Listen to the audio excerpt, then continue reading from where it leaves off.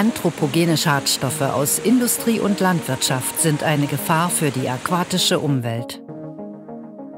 Eine umfassende Charakterisierung der Wasserproben auf unterschiedlichste Schadstoffe mittels instrumenteller Analytik lässt sich aufgrund des Aufwands nicht bewerkstelligen.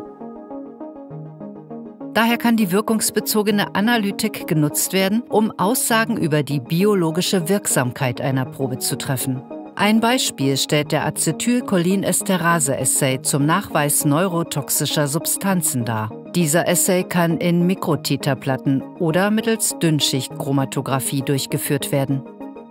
Die Dünnschichtchromatographie ist ein leistungsstärkeres Verfahren, das jedoch mit einem hohen manuellen Aufwand verbunden ist.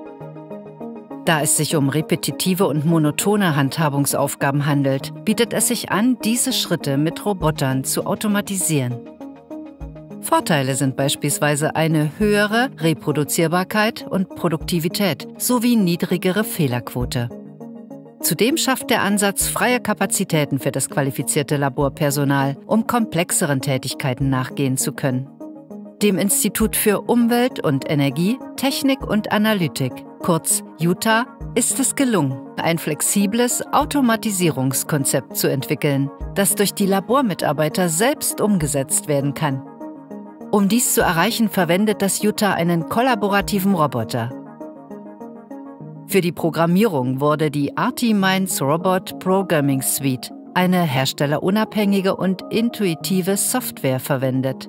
Mit ihr lässt sich der Gesamtworkflow per Drag and Drop aus vorprogrammierten Bausteinen zusammenstellen, parametrieren und simulieren.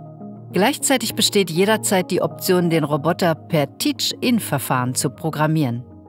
Der Aufwand bei der Anbindung einer speicherprogrammierbaren Steuerung oder von Robotik-Peripheriezubehör wie einem Kamerasystem wird durch integrierte Schnittstellen minimiert.